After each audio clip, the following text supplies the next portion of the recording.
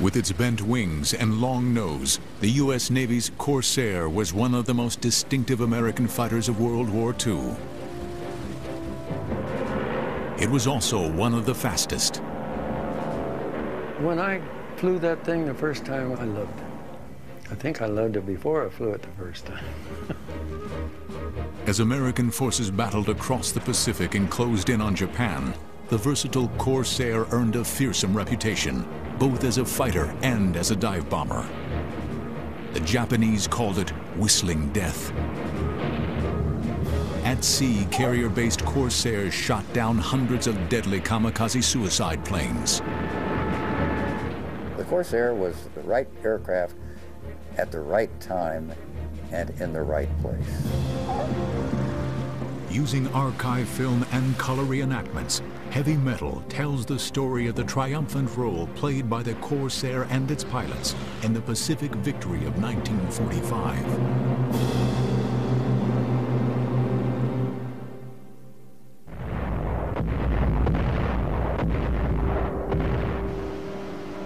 In the 1930s, the art of war at sea was dominated by the battleship.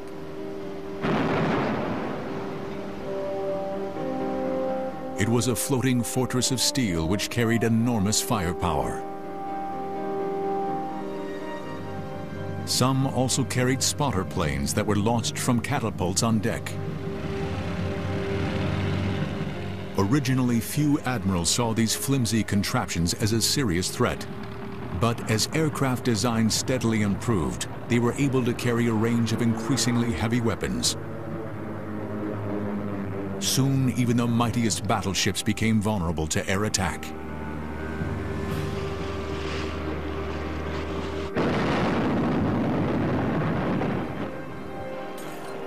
A new type of warship was created that would transform the war at sea, the aircraft carrier.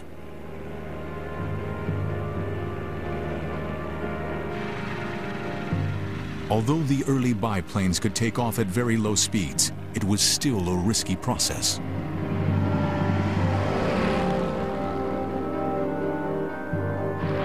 But landing on a carrier was even more dangerous.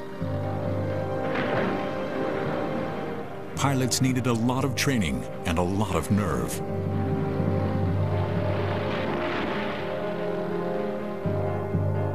The aircraft would approach the deck trailing a hook Stretched across its path would be a series of arresting wires. When the pilot felt the hook catch a wire, he would cut the power and his machine would come to an abrupt halt. What a way to land. You can cut, feel that cable get you, and let go. Throw your hands out. you can't do that in normal flight, landing on a field. It was a crude system, but highly effective.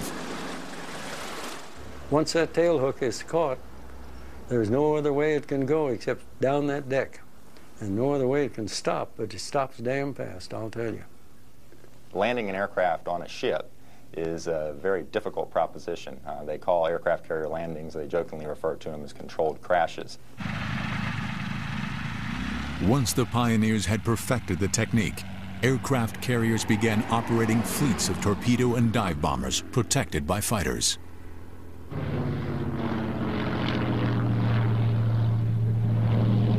In 1937, the press services received a flash from Asia. Japan's invasion of China sent shockwaves across the Pacific. Immediately, America launched an urgent review of its defense capabilities. In 1938, the U.S. Navy invited bids for a new type of high-speed, high-altitude fighter designed specifically to operate from aircraft carriers. The winner was the Vought F-4U Corsair, which made its first test flight on the 29th of May 1940.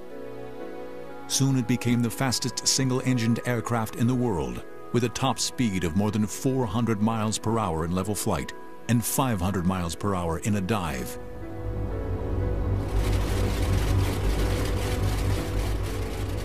The Corsair was highly advanced with folding wings and a huge 2,000 horsepower engine. To the pilots who would eventually fly it in World War II, the Corsair looked unlike anything they had ever seen.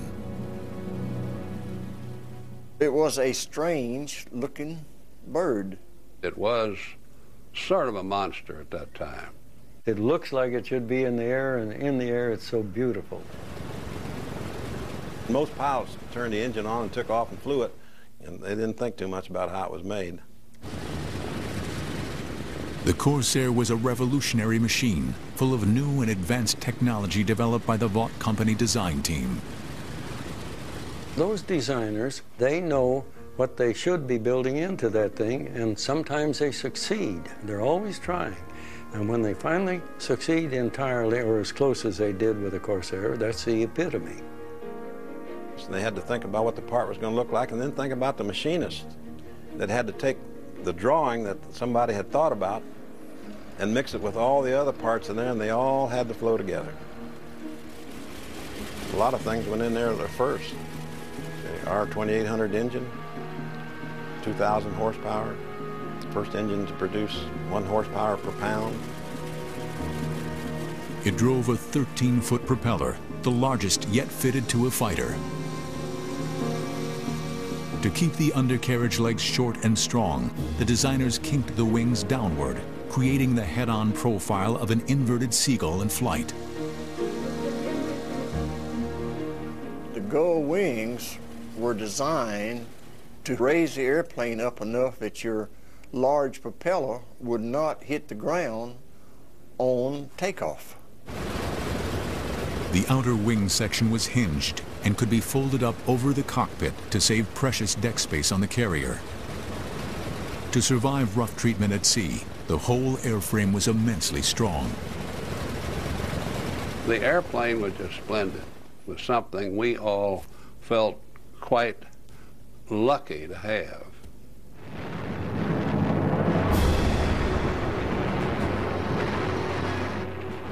While Japan threatened American interests in the Pacific, Adolf Hitler plunged Europe into war.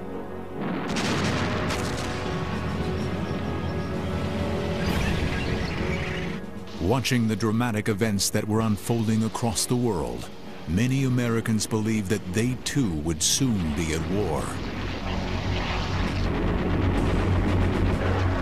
It looked as though the Corsair was about to see plenty of action. December 7th, 1941. The crime of the century.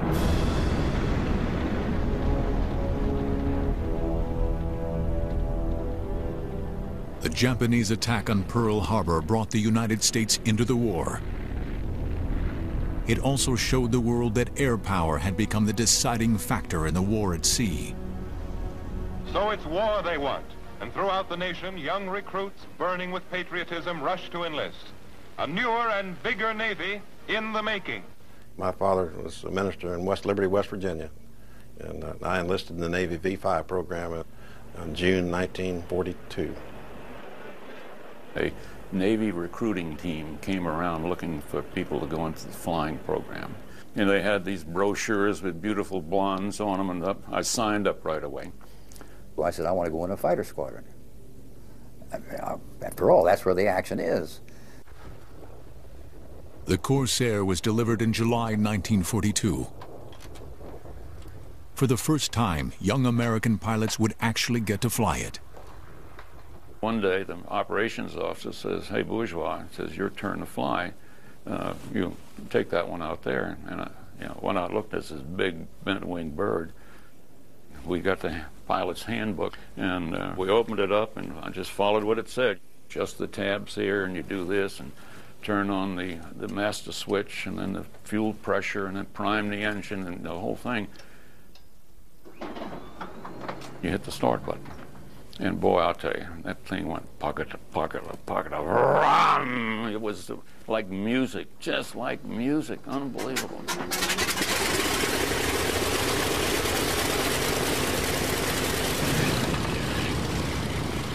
that was probably the biggest thrill I ever had in flying. And I threw that throttle home the first time when that 2,000 horsepower engine, threw me in the back seat.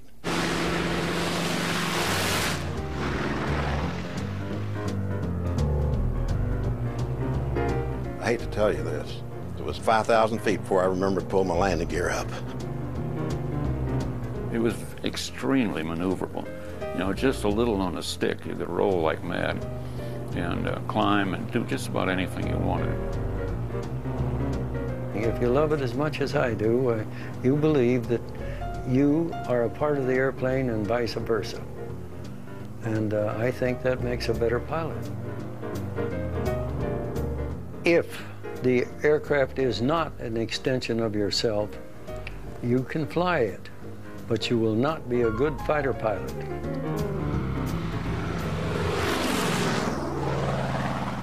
The next stop would be the Pacific, where a series of amphibious assaults would be launched against the many Japanese-held islands. Central to the American strategy was the aircraft carrier. The carrier was very important in the Pacific because there's a lot of water and not a lot of land in that theater. So there were a number of missions that the carrier became quite adept at. As the Central Pacific Offensive got started, carrier became very important in launching close air support strikes to support the ground forces, striking at long range against the enemy fleets, and also neutralizing enemy air power in islands surrounding the area of the assault. The F-4F Wildcat had been the leading American carrier fighter in the early stages of the Pacific War. In June 1942, it played a key role in Japan's first major defeat at sea, the Battle of Midway. Early in 1943, the faster and more powerful F-6F Hellcat was introduced. The Cats were ideal carrier aircraft. They had good forward visibility and handled well even with battle damage. They were also extremely rugged.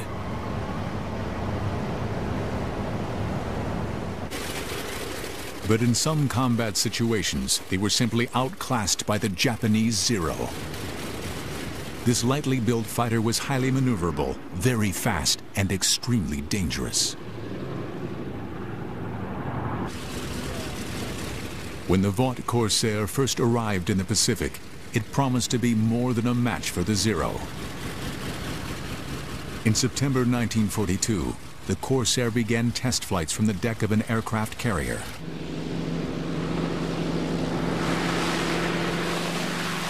But the results were not at all what the Navy had hoped for. Leaking oil smeared the pilot's windscreen, and the aircraft's long nose blocked his view during the final stages of a carrier landing. And there were other, more serious problems. It had a very severe uh, stall characteristic in the earlier aircraft because of wing stall. And of course, you have to come pretty slow when you're coming aboard a carrier. So if you got down to that critical point, it would stall like this. You'd be in the, in the water. Even if the pilot made it back under the ship, a heavy landing would cause the aircraft to bounce wildly along the deck. The tailhook often skipped over the arresting wires without engaging. A lucky pilot could climb away and try another landing. But for most pilots, there was no second chance, as their Corsair tangled with the safety barriers, cartwheeled into the sea, or crashed into other aircraft.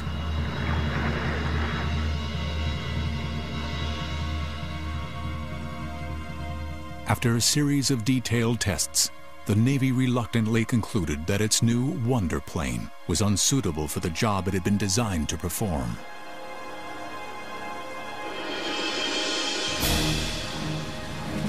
The Corsair had the potential to outperform and outgun the Zero, but it needed time to get its sea legs, and the Navy was not prepared to wait.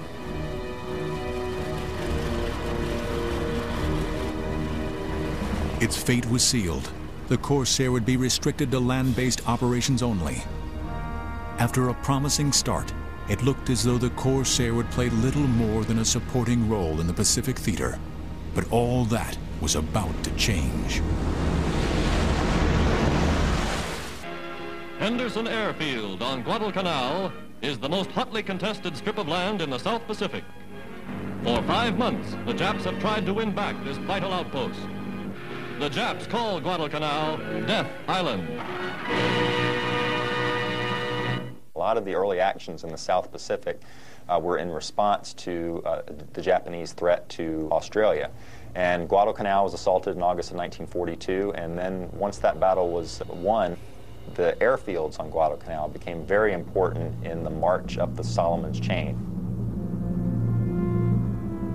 Here, in the humid, uncharted jungles of the South Pacific, the Corsair found a new role. Banished from Navy carriers, the potent new fighter was eagerly adopted by the United States Marine Corps. Corsairs first saw combat in February 1943 and soon began to dominate the air battles in this crucial campaign. The tide was about to turn against the all-conquering Japanese.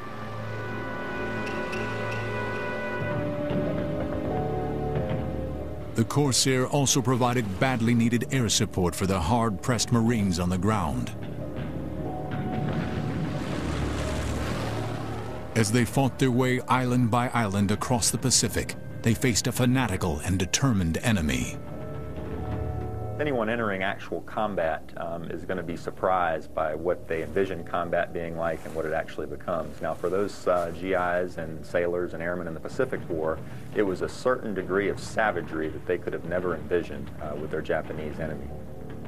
It was different, different than what we thought. And I have a deep respect for the man that's on the ground, and those men suffered hor horribly down there on the ground. Those men, they just did terrific jobs. And sometimes I put myself in their place and I wonder if I could have done what they did. The climate could also be their enemy. Stifling heat, high humidity, and tropical diseases made life in the Solomons a miserable existence for everybody, including the pilots. You lived in your flight suit. You know, you're lucky you had two rarely a chance for a bath. I can remember my cloth helmet. You know, how you, when you sweat and sweat and you get all this salt out of your body all around you and then your flight suit and it smell like hell. Your socks are always wet. You slept in a, in a cot under a mosquito net. You learn not to sleep right next to the mosquito netting because they loved to work through those holes. I nearly died from malaria twice on uh, Guadalcanal. Their location and their mission were top secret. All mail was censored. Suddenly, the girl back home seemed very far away. Here they learned to rely on their buddies.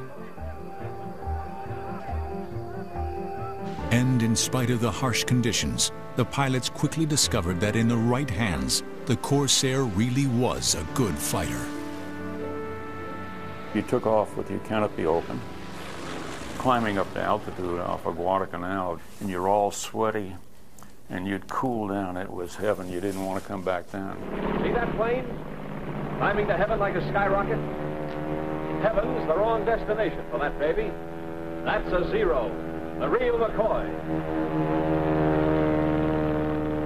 Government training films and Hollywood actors did their bit to help the fighter pilots identify their enemy. I guess there are a couple of things I don't know about this airplane, sir. I'm glad to hear you admit it. That's the beginning of wisdom. In the studio, it was all done by the book. Wings post to nose.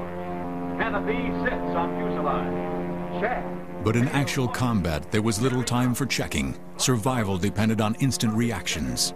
It's a zero. Check.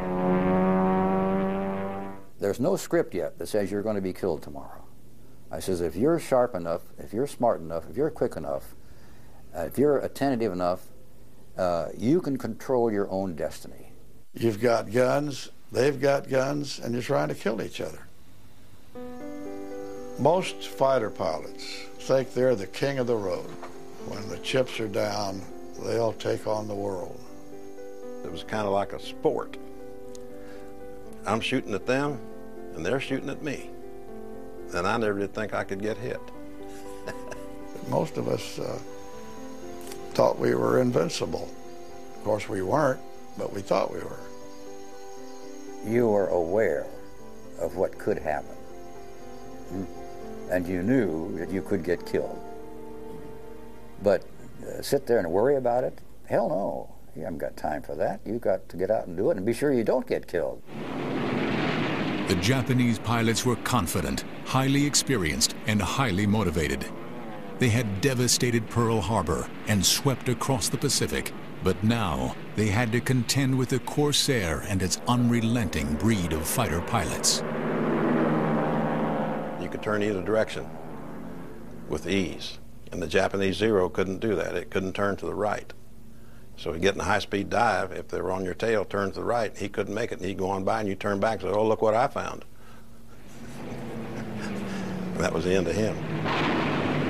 There was a zero not a, oh, 200 feet right there, just dead eye right there. And I just blasted him, it blew up. My first actual kill was off of Guadalcanal. In the first fight in the uh, Corsair, got into a pretty good tangle. I had a flight of eight, and they had a flight of 16. We actually decimated them. I got five myself in that one fight. With five kills to his credit, Archie Donahue joined the elite group of pilots claiming the unofficial title of Fighter Ace. The Corsair was steadily carving out a new reputation for itself not as a temperamental rookie, but as a seasoned campaigner and a highly effective fighter.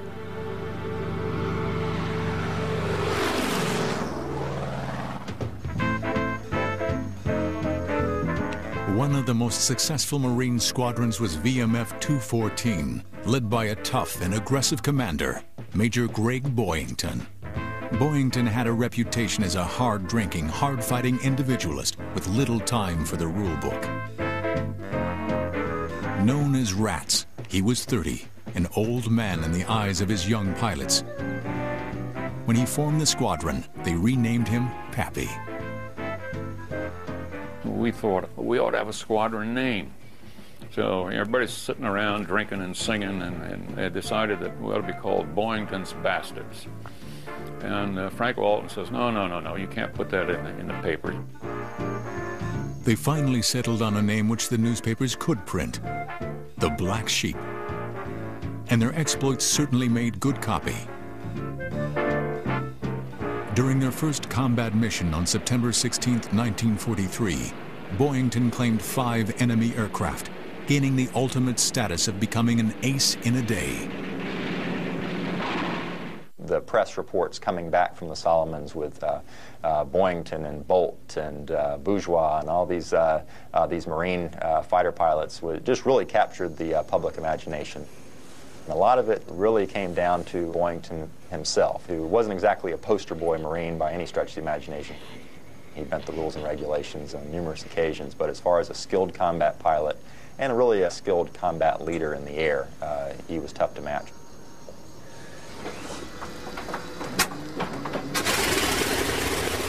Boyington was the leader, and he was scared of nothing, and he would talk to the Japanese over their frequency, and they would talk to him, and we heard all of those stories.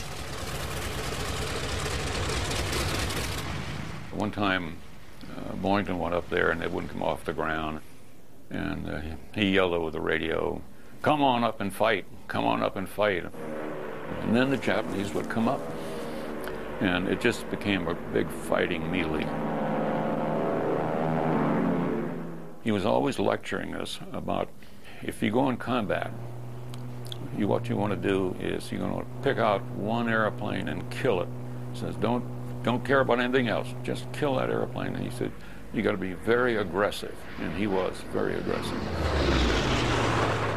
He was the best pilot I've ever known. As a, and I, I would fly with him in combat anytime, any place, anywhere. The bitter air battles over the Solomons marked a turning point in the Pacific War. From now on, Japan would be on the defensive. As the battle-hardened pilots who had devastated Pearl Harbor were steadily picked off, their poorly trained replacements proved to be no match for the Americans.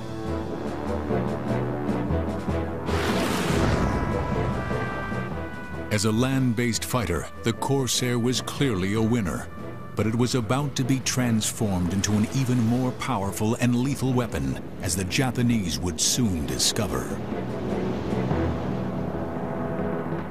In the airstrips that had been hacked out of the jungles, the air forces gave the infantry the one thing they lacked for so long, air-ground support.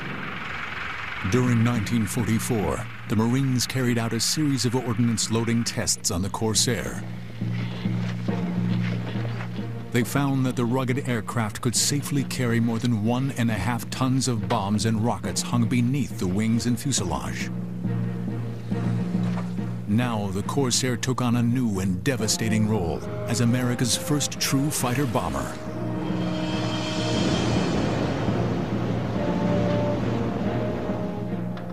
Meanwhile, halfway across the world, the idea of the Corsair as a viable aircraft carrier fighter was about to be resurrected. It was designed to go to sea, but it took the British to prove it actually could. The Fleet Air Arm of Britain's Royal Navy saw the fighter's potential and found ways to correct most of its faults. They gave them to the British thinking, well, let those limeys worry about it, you know. And they worried about it because they fixed it. The Royal Navy played a great role in the Corsair's development because it was actually the first service to consistently operate the Corsair from the carrier. Corsairs were operating from Royal Navy flat tops eight months before they were routinely operated from American carriers. The British pilots could not solve the Corsair's problem of poor forward visibility. But by approaching the carrier in a long, gentle curve, they kept the deck in view until the very last moment.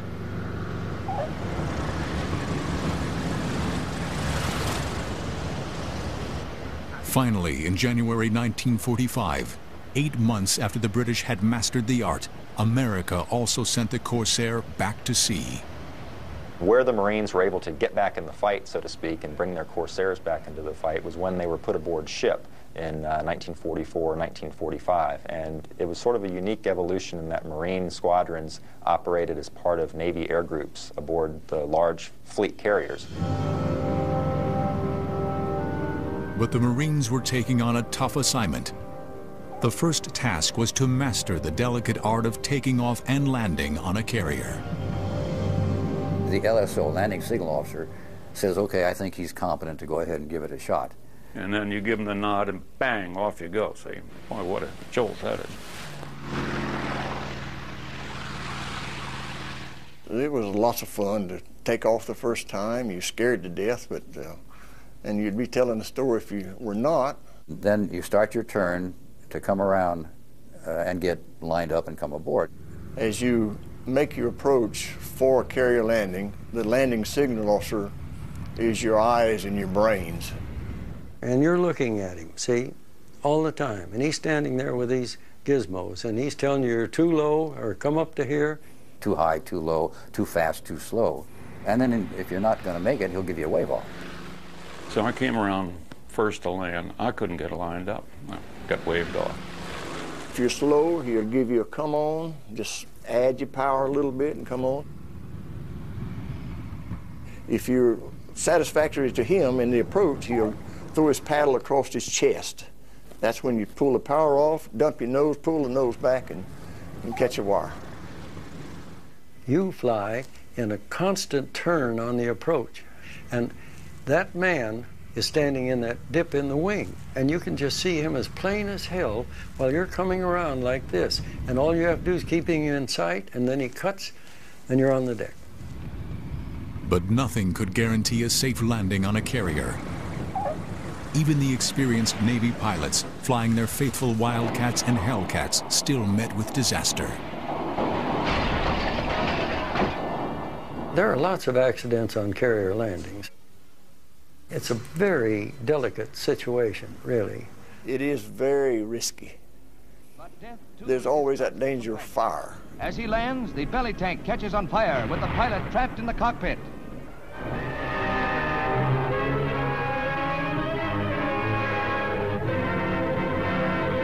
Miraculously living through the inferno, the pilot is helped to safety. Carefully, his gear is removed before doctors treat him. After only nine days at sea, The first two Marine squadrons had lost seven pilots and 13 Corsairs, mostly due to accidents on the flight deck. Land-based Navy squadrons were also put on board carriers with equally mixed results. But eventually, most pilots learned to tame the high-spirited Corsair. It was always a little bit, but you got the technique. You got the technique, and you're able to do it. It became it became just a routine thing. Stand by to take aircraft aboard. Stand by to take aircraft aboard.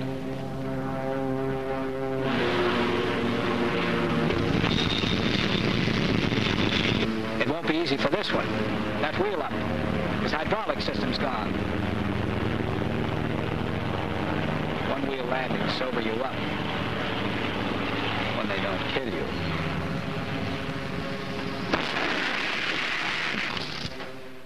Each day in life is like a carrier landing. If you can walk away from it, you're in good shape. Keeping the aircraft in fighting trim was a full-time job. Battle damage and landing accidents meant a steady workload for the army of mechanics who worked night and day on the hangar deck. Undamaged aircraft had to be serviced and checked every day. Everything had to be ready for the next mission. Just one overlooked detail could spell disaster. You go jump in your car, you don't worry about whether you got a flat tire or there's enough oil. In it. You just get in it and you expect it to go, and that's uh, you eventually get to that point, which is not good on an aircraft. But I think a lot of us pilots did that. Those guys would work all night long. They would, um, you know, have to swap wings and tails and engines and propellers and patch holes. And I really admire them. I really do.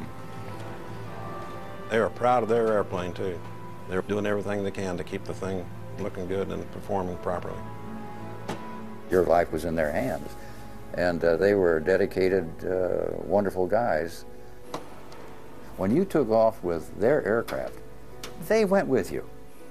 And when you came back, they were happy. By the start of 1945, the Americans were advancing on all fronts. The naval task force that closed in on Japan was the most powerful ever assembled.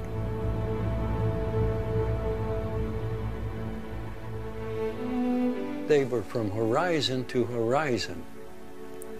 Warships. It's unbelievable. Carriers and battleships and cruisers and I just couldn't believe there were that many. I thought the Japanese were going to have a difficult time from then on, and they did. We are being attacked. But as the net closed around Japan, resistance grew more determined. For the first time, the Corsair pilots were about to face attacks from an enemy with a terrifying mindset. No surrender, whatever the cost. Action stations. Jap suicide pilots attempt to crash their planes into our ships. By the spring of 1945, Japan's key weapon had become the kamikaze suicide attack. To the Americans, the life of a trained pilot was far too precious to waste. Now they found themselves confronting an enemy who actually wanted to die. It was a terrifying and incomprehensible situation. It's altogether different from what you would think a human being would want to do is preserve his life, but that wasn't the case. I got a kamikaze on the flight deck about 150 feet ahead of me. It was a scary experience.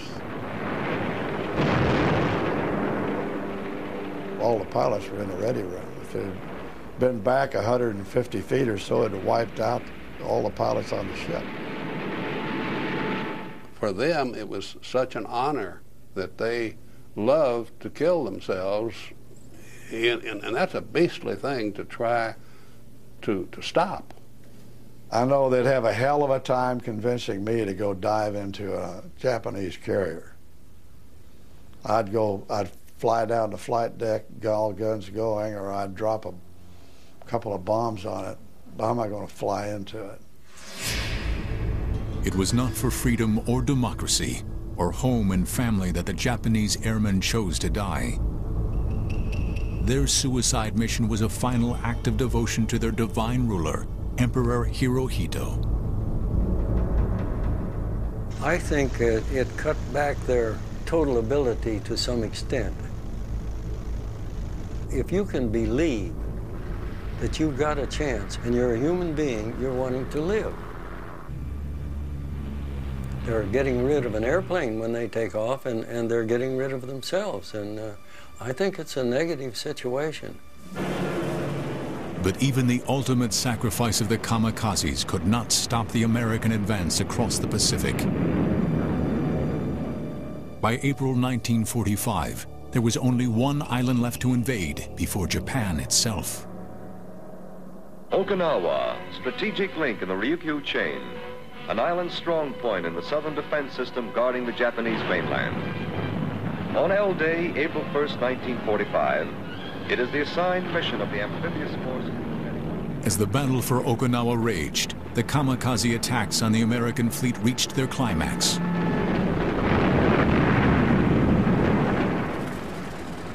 But the Corsair gave the carrier force a crucial advantage as the American pilots decimated their fanatical opponents. You couldn't understand them any way, shape, or form except you just had to kill them or they'll kill you. It was just something you had to do. I'd want to be furious at the enemy. I'd cuss him out. That way I could stay really aggressive and madder than I was scared. I set my tracers uh, well ahead of his nose. Then I just walked them back toward the airplane. And you know that suddenly he blew up. The last fight I ever got into, we had 16 airplanes opposing us on Okinawa, and uh, I got five of them, and we, we got all of those guys. But the American casualties were also heavy. Aircraft often had to attempt a landing with vital controls shot away.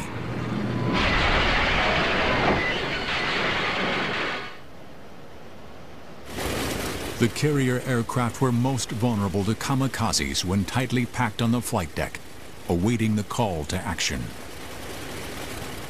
It makes you pretty nervous when you're sitting there. You can't move, and you wonder where that next sucker's going to go. Their target was the middle of the aircraft on board, and that's where I was. I looked around. We had the Ticonderoga right off our port side. But one Jap gets through, crashing on the deck of the Ticonderoga.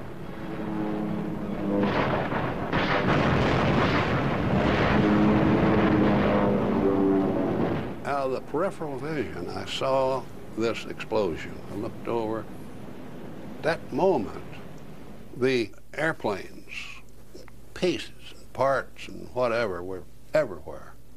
They hit right in the middle of that pack. Another carrier in the thick of the action was the Bunker Hill.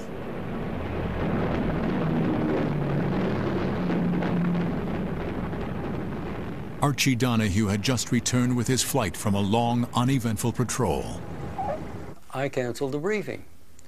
I had 16 pilots out that this mo that morning, and uh, 15 of us went down to get some rest and bunk. A few get through, and one Jap pilot aims his plane at the carriers. Missing one ship, he heads for the Bunker Hill stern.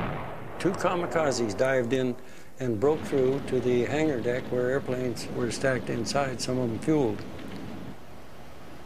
It created one hell of a fire. You wouldn't believe that that ship could survive.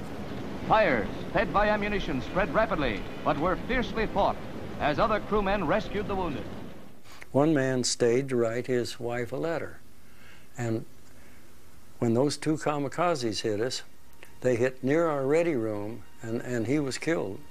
Uh, instantly, they told me. Uh, and uh, he was the only one I lost in my flight. Archie's decision to cancel the briefing had saved the lives of all but one of his pilots. But many others did not escape. Almost 400 men on the Bunker Hill were killed. Miraculously, she managed to stay afloat, but her fighting days were over.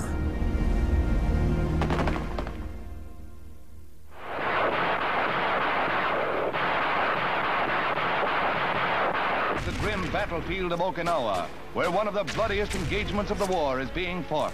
Thousands of Yanks have sacrificed their lives to drive a fanatical foe from this vital base, the doorstep to Japan itself. As the fighting reached its bloody climax, corsairs pounded the Japanese defenses with a sinister new weapon, the jellied gasoline known as napalm. After almost three months of bitter fighting, American forces conquered Okinawa, but at a terrible price. Okinawa had cost 12,000 Allied lives and at least 125,000 Japanese were killed. Here you see the propensity of the Japanese to dig in, and you have to root them out cave by cave. And you see that an assault against Japan and just multiplying Okinawa by 10, 20 fold is going to be a very costly endeavor. And certainly that is a factor in the decision to drop the atomic bombs. On August 6, 1945, the world's first atomic bomb devastated the city of Hiroshima. After a second bomb on Nagasaki, the Japanese finally accepted defeat.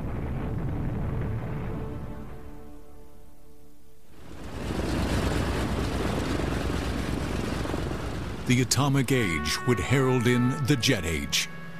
But the Corsair had taken the propeller-driven fighter to the very limit of its ability. After many setbacks, the Corsair became accepted as the finest, most versatile fighter-bomber of its day. For the young men who took it to war, flying the bent-wing bird was an unforgettable experience. People ask me, was I scared during the war? Was I afraid? I never was. You know, I was 21 years old. Man, it was fun. It was a game. You were alone in that cockpit, and your destiny pretty much was right there in these two hands on this stick. I sometimes fly aircraft in my sleep a little. I've done that all of my life. Flying's so beautiful to me. It's like being an angel. You have advantages that are unbelievable and views of the world that are marvelous. I love it.